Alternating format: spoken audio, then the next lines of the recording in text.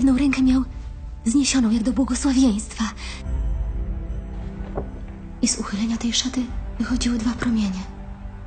Blady i czerwony. A on powiedział: Wymaluj obraz według tego, co widzisz. Z napisem: Jezu, ufam Tobie.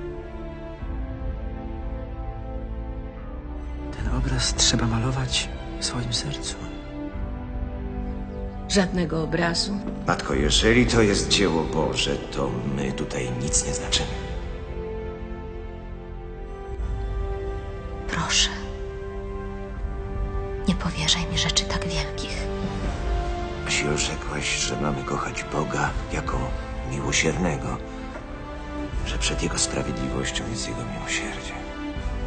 Mam iść i powiedzieć kapłanom, że pokazują niedoskonały obraz Boga. Pan Jezus powiedział, że mimo Jego gorzkiej męki ginie wiele dusz.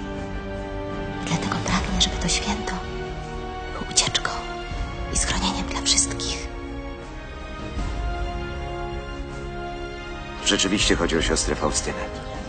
Rozmawiałem z nią i przyznaję, że nie wiem, co robić. Ale pięknie mówi o miłosierdziu Boga.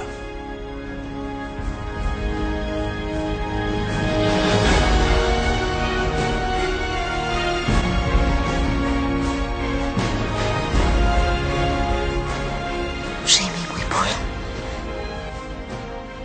Weź a mnie daj więcej.